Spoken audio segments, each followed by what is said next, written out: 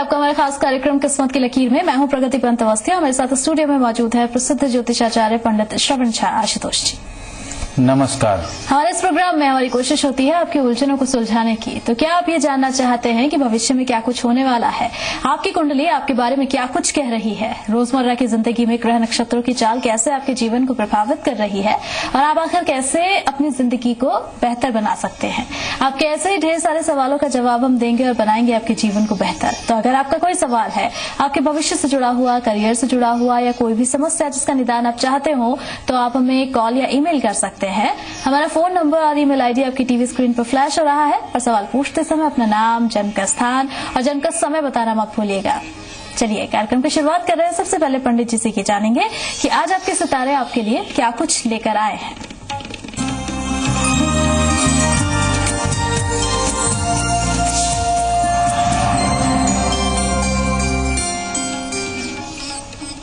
चलिए तो पंडित जी, सबसे पहले तो ये बताइए कि मेष राशि के जो जातक है, उनके लिए आज का दिन कैसा रहेगा?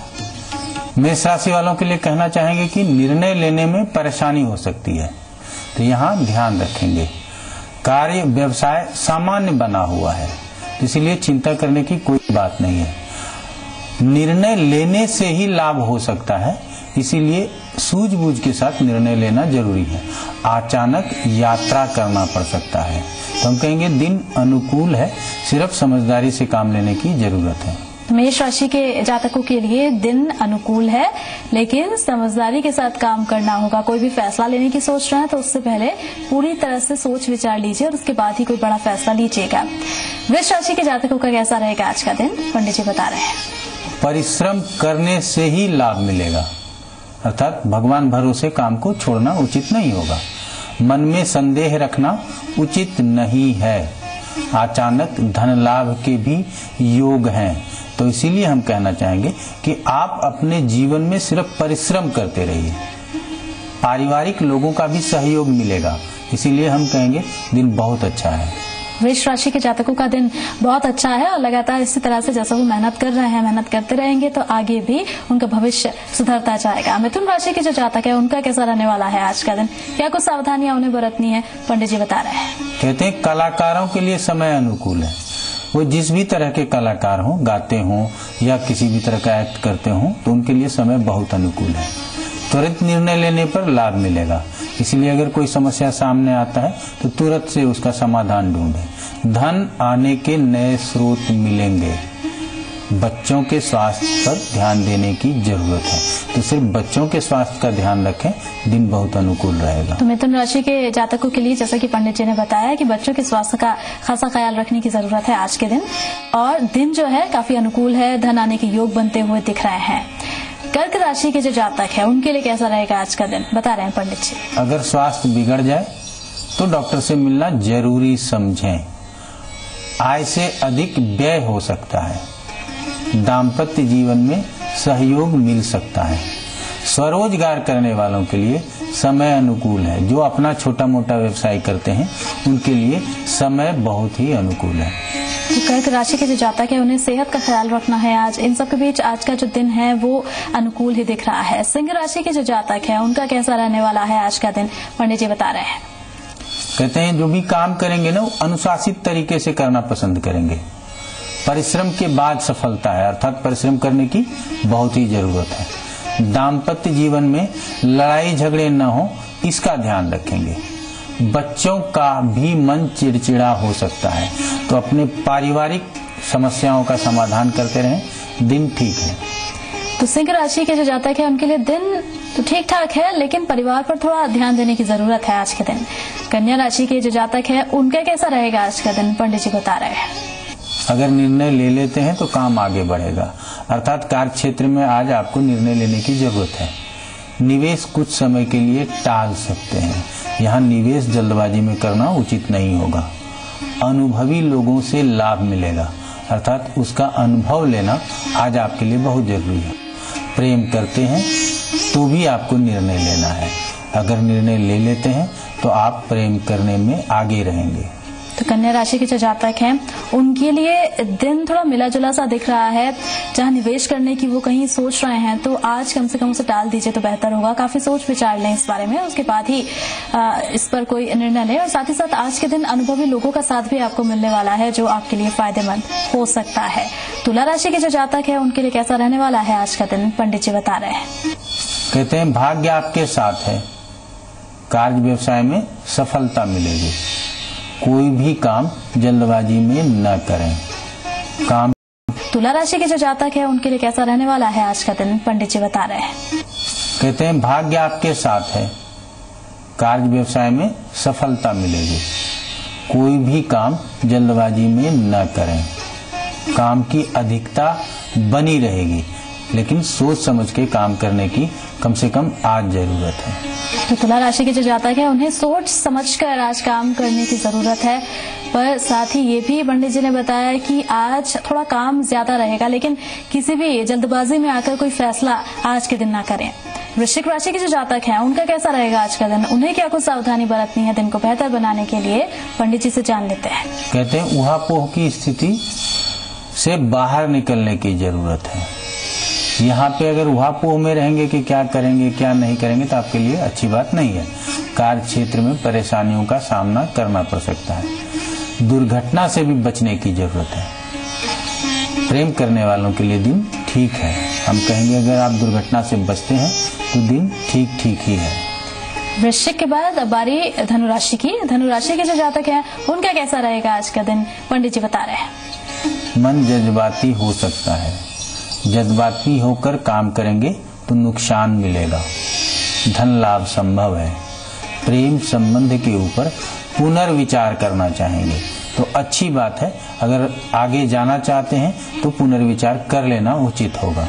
तो धनुराशि के जो जातक है, उनका आज जो मन है वो भावुक रहने वाला है भावुकता में जो निर्णय लिए जाते हैं, वो अक्सर गलत ही होते हैं। तो कोई भी फैसला करने से आज के दिन कम से कम बचे। मकर राशि के जातकों का कैसा रहने वाला है दिन, पंडित जी बता रहे हैं। दृढ़ता के साथ काम करने की ज़रूरत है। कार्य व्यवसाय में विकास संभव है। कला या खेल कूद में जो रुचि रखते हैं, उनके लिए समय बहुत अनुकूल है। सिर्फ़ दाम्पत्य जीवन में कटुता आ सकती है, यहाँ पे ध्यान देने की ज़रूरत है। मकर राशि के बाद अब बारी कुंभ राशि की। कुंभ राशि के जातकों का कैसा रहेगा आज का दिन, पंडित जी बता रहे हैं। मन बच्चों के ऊपर ही केंद्रित रहेगा कि बच्चे क्या कर रहे हैं, नहीं कर रहे हैं, आगे उसका भविष्य कैसा होगा। कार्य व्यवसाय सामान्य है, जैसा चलता है, वैसा चलता रहेगा। विदेश संबंधित जो कार्य करते हैं, उनके लिए आज समय अनुकूल है। बच्चे व पिता के स्वास्थ्य का ध्यान रखना बहुत ज़रूरी है। तो परिवार के सदस्यों की सेहत का ध्यान रखना बहुत ज़्यादा ज़रूरी है कुंभ राशि के जातकों को आज के दिन। और अब बारी है मीन राशि, यानी कि अंतिम राशि की। मीन राशि के जातकों का कैसा रहने वाला है आज का दिन, पंडित जी से जान लेते हैं। लाभ के संकेत हैं तो लाभ प्राप्त करने का प्रयास करना चाहिए। कार्य क्षेत्र में किया जा रहा प्रयास सफल होगा। मित्रों की सहायता की ज़रूरत महसूस करेंगे। तो अगर सहायता की ज़रूरत महसूस करते हैं तो सहायता लेनी चाहिए। प्रेम करने वालों के लिए भी आज समय अनुकूल है। तो कहेंगे मेष राशि वालों को आज के समय का लाभ लेना चाहिए। तो मेष राशि के जो जातक हैं, उनके लिए आज का दिन बहुत अनुकूल है और इसका उन्हें फ़ायदा लेना चाहिए। तो बारह राशियों की हमने बात कर ली। बारह राशियों के जो जातक है, उनको क्या कुछ करना है दिन को बेहतर बनाने के लिए, ये उपाय भी पंडित जी ने आपको बताया। एक छोटा सा ब्रेक ले रहे हैं हम यहाँ पर। जल्द लौटेंगे।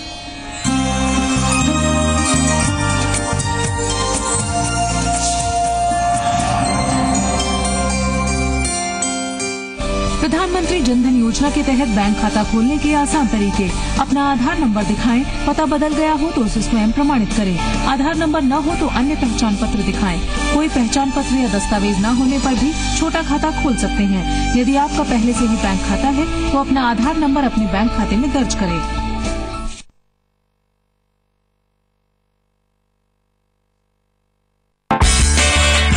पढ़ने पढ़ाने का जुनून। म्यूज़िक डांस की धूम स्पोर्ट्स के साथ मस्ती खूब माहौल है एकदम खूब इट्स माई स्कूल सोमवार से शुक्रवार दोपहर साढ़े तीन बजे सिर्फ़ जी मरुधरा पर। सपना सच करते हैं धानु का ग्रुप हम सपना सच करते हैं। सपना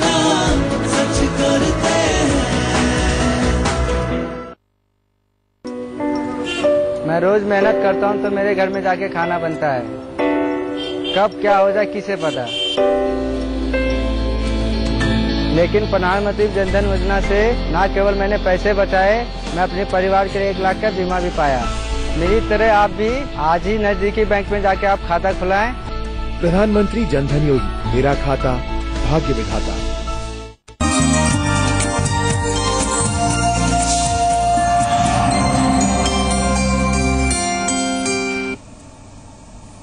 के बाद स्वागत है आपका। ब्रेक से पहले पंडित जी ने बताया आपको कि आपके सितारे आज आपका, आपके लिए क्या कुछ लेकर आए थे? यानी कि आज का जो आपका राशि फल था, वो हमने आपको बताया। और अब बारी आपकी ही समस्याओं के समाधान करने की। पंडित जी, बहुत सारे दर्शक है, बहुत सारे सवाल, और उनमें से कुछ सवाल हम चुनते हैं, जिनका समाधान हमारे दर्शक आपसे सुनते हैं। तो हमारे एक दर्शक हैं उन्होंने अपने परिवार के एक सदस्य, रजत माथुर के बारे में पूछा है, उदयपुर से पूछा गया है। सवाल, जन्म की जो तारीख है, वो है उनतीस ग्यारह उन्नीस सौ छियासी। जन्म का समय है आठ बजकर चार मिनट शाम और स्थान उदयपुर। उन्होंने ये पूछा है कि ये जो सज्जन है, जिनका ये पूरा ब्यौरा उन्होंने दिया है, रजत माथुर, ये बहुत ज़्यादा नशा करते हैं और इसकी वजह से आगे कुछ कर भी नहीं पा रहे हैं, नौकरी भी नहीं है तो स्थिति थोड़ी खराब है। कब तक ये स्थिति बनी रहेगी, कैसे सुधार होगा? चलिए सबसे पहले हम पत्रिका के ऊपर विचार कर लेते हैं। कहते हैं, मिथुन राशि का लग्न है, लग्नेश बुद्ध है, और जन्म की जो राशि है, अर्थात चंद्रमा जहाँ स्थित है, वो तुला राशि है। तो हम कहेंगे, साढ़े साथी का अंतिम चरण चल रहा है। अब बात आती है कि इनका जो सवाल है वो सवाल नशे से संबंधित है और कैरियर से संबंधित है। तो दूसरे और तीसरे भाव से हम खान पान का विचार करते हैं, जिसमें नशा भी एक पदार्थ है जिसको हम पीते हैं। और क्या इसका नुकसान हमारे जीवन में कब तक होगा और कितना हो सकता है? तो जातक का जो समय है, वो समय शनि में बुद्ध का है। शनि इनके भाग्येश हैं और बुद्ध खुद लग्नेश हैं। तो लग्नेश की दशा है तो यहाँ पे हमारा शरीर पीड़ित हो सकता है। ऐसा हम कहते हैं। तो वर्तमान दशा अच्छी है। हम इस दशा को बुरी दशा नहीं करेंगे।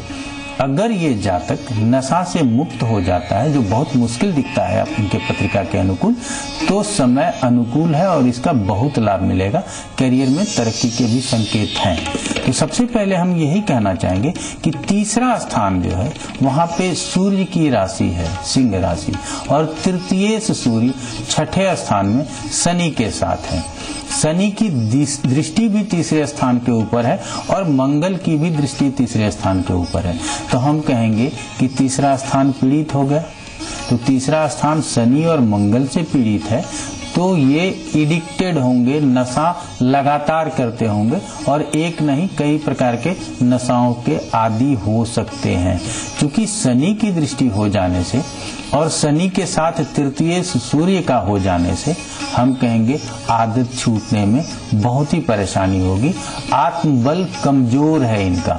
और अगर किसी का आत्मबल कमज़ोर होता है तो उनको नशा छोड़ना मुश्किल होता है। क्योंकि हम यहाँ देख रहे हैं कि एक तो सूर्य छठे स्थान में है।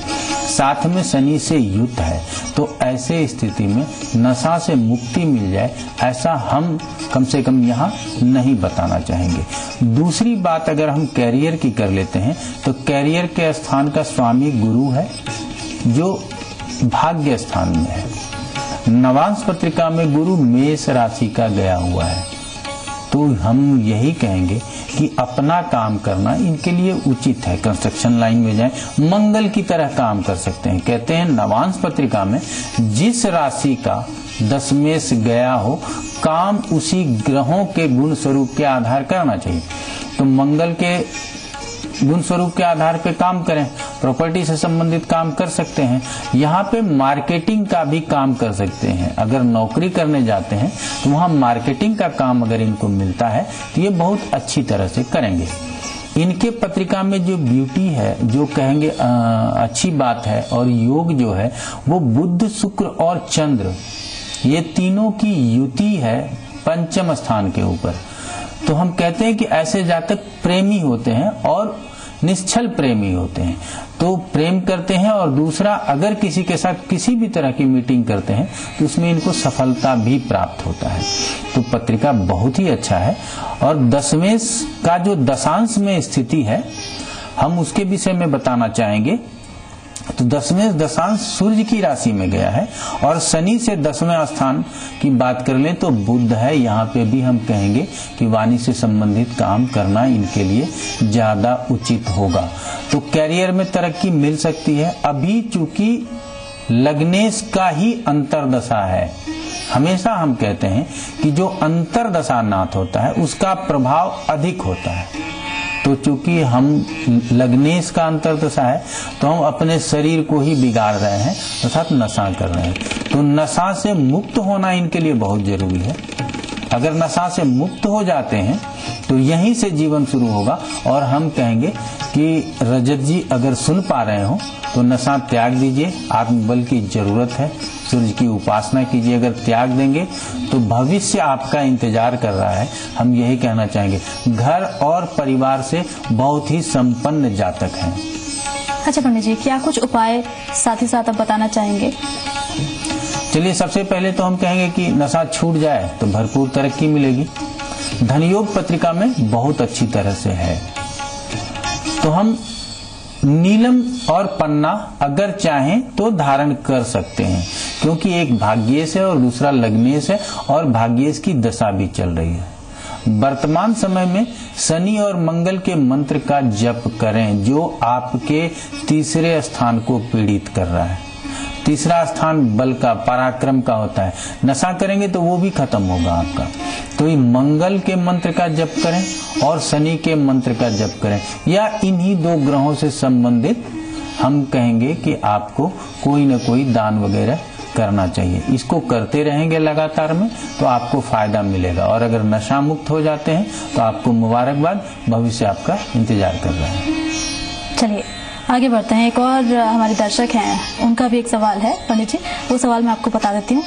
हेमलता जी हैं, जो कि अपने बेटे को लेकर ये सवाल कर रहे हैं। उनके बेटे का नाम है प्रशांत प्रकाश कामले, पुणे से हैं। और जो जन्म की तारीख बताई है, वो है सत्ताईस सात उन्नीस सौ बयासी का जन्म है। समय सात बज, सात बजे, सुबह का समय बताया गया है। और जन्म का जो स्थान है पुणे का बताया गया है। असल में जो समस्या है इनकी वो ये है कि उनका ये कहना है कि वो अपनी पत्नी की बातें ज़्यादा मानता है। मा, मतलब माता से बेटे की जो दूरी है उसके बारे में ये सवाल पूछा गया है। बस ये जानना चाह रही हैं हेमलता जी कि उनका जो बेटा है क्या उनकी भी सुनेगा कभी? ये समस्याएँ आम है और समझने की भी ज़रूरत है। अच्छा पुत्र पत्नी की बात मानता है। इसको हम पत्रिका में कैसे देखेंगे? ये भी आप समझिए और हम क्या बताना चाहते हैं, ये भी समझने की ज़रूरत है। सबसे पहले लग्न कर्क लगन है। लग्नेश चतुर्थ स्थान में है। राशि तुला राशि है। साढ़े साथी इनके ऊपर भी है। तो हम कहेंगे कि लग्नेश चतुर्थ स्थान में और चतुर्थ स्थान का कारक कौन? चंद्रमा। और किसके साथ युत है? मंगल के साथ युत है। और दृष्टि उसके ऊपर राहु की है। तो चतुर्थ स्थान पर्याप्त रूप से पीड़ित कहेंगे। गुरु भी वहाँ स्थित है और हम कहते हैं कि गुरु जहाँ स्थित होता है, उस स्थान की हानि ही बताना चाहिए। तो चौथा स्थान और चंद्रमा। जब दोनों पीड़ित हो जाए तो जातक माता को कितना सुख दे सकता है? ये समझने की ज़रूरत है। ना माता को ज़्यादा सुख दे सकता है और ना ही मातृ स्थान में, अर्थात घर में, ज़्यादा तरक्की कर सकता है या घर में नहीं रहेगा, घर से दूर रहेगा, ऐसा हम कहना चाहेंगे। चंद्रमा की जो स्थिति नवांश पत्रिका में है, वहाँ भी वो सूर्य और मंगल के साथ स्थित है। तो हम यहाँ कहेंगे कि चंद्रमा नवांश में भी और लग्न पत्रिका में भी पीड़ित है। क्योंकि चतुर्थ स्थान में चंद्रमा को कारक भाव नाशाय ऐसा बोलते हैं, जिसकी वजह से माता को कष्ट पत्रिका में दिखाता है। और सबसे बड़ी बात जो है, वो ये है कि वर्तमान समय में गुरु में चंद्रमा की ही दशा है। तो माता जी भी अभी के वक्त में ज़्यादा कष्ट महसूस करती होंगी। क्योंकि जब चंद्रमा की दशा है तो माँ की बात तो हम करेंगे और वो चतुर्थ स्थान में स्थित है तो विशेष रूप से करेंगे। और चूँकि इनका गुरु भाग्येश है तो इनको तरक्की में कोई दिक्कत नहीं अगर हमारे तरक्की में दिक्कत होता है तो हो सकता है कि हम कभी माँ से भी सहयोग लेना चाहेंगे, लेकिन अगर हम बहुत तरक्की करने लगते हैं तो उस मद में हम भूल जाते हैं। ऐसे भूलना नहीं चाहिए लेकिन हम कहेंगे कि गुरु में चंद्रमा की दशा होने की वजह से माता को विशेष पीड़ा अभी महसूस होगी। हो सकता है कि उनका स्वास्थ्य भी थोड़ा बिगड़ सकता है। तो यहाँ हम यही कहना चाहेंगे कि माता से दूर ये रहेंगे। ऐसा पत्रिका में योग है। अब पत्नी के साथ रहना मजबूरी है या ज़रूरी है? ये, उनकी बात है। हम कहते हैं पत्नी के साथ तो रहेंगे ही रहेंगे, लेकिन अगर माता का भी ध्यान रखें तो बहुत अच्छी बात है। अब पत्रिका के दोष की वजह से भी माता से दूर होना या माता के प्रति झुकाव कम होना, ये संभव है। इसीलिए कभी कभी हम लोग ऐसा भी कहते हैं कि हम बहू को कहते हैं कि ये अच्छी नहीं, इसीलिए ऐसा नहीं होता। यहाँ पे पत्रिका में ऐसा दोष है। तो हम कहेंगे इसकी वजह से ये माता से दूर ही रहना ज़्यादा पसंद करेगा। अच्छा पंडित जी और ऐसे में हेमलता जी को क्या सुझाव या सलाह देना चाहेंगे? अब हेमलता जी को चूँकि एक ही सुझाव देना चाहेंगे कि संतान सुख प्राप्त कैसे होता है। तो अगर संतान सुख प्राप्त करना हो तो सिर्फ़ और सिर्फ़ विष्णु की उपासना कीजिए। और हम कहेंगे कि हो सकता है कि 2015 के बाद आपके पुत्र का झुकाव आपकी तरफ़ हो। तो अभी से मंत्रों का जब शुरू कर लीजिए। ओम नमो भगवते वासुदेवाय। और विष्णु से संबंधित किसी भी तरह का विष्णु सहस्त्रनाम का अगर पाठ कर लेते हैं आप तो वो आपके लिए और भी उचित होगा, या फिर ब्राह्मण से करवा सकते हैं। तो यहाँ संतान अगर आपके प्रति सद्भाव नहीं रखता तो उसके मन में आपके प्रति सद्भावना ज़रूर जागृत होगी और आपको इसका लाभ मिलेगा। तो आप बहुत अधिक अगर नहीं कुछ कर रहे हैं, हेमलता जी तो आप नमो भगवते वासुदेवाय, इसका जप करें और विष्णु जी के ऊपर भरोसा करें आपके पुत्र का स्वभाव आपके प्रति सौहार्दपूर्ण हो सकता है। चलिए तो हेमलता जी, जैसे कि पंडित जी ने बताया कि 2015 के बाद परिस्थितियाँ बदलेंगी और आपके पुत्र का झुकाव आपकी तरफ़ होगा, और जो उपाय उन्होंने बताया उन्हें आजमाइए, इसका ज़रूर आपको फ़ायदा होगा। एक छोटा सा ब्रेक अब यहाँ पर हम ले रहे हैं। चल लौटते हैं।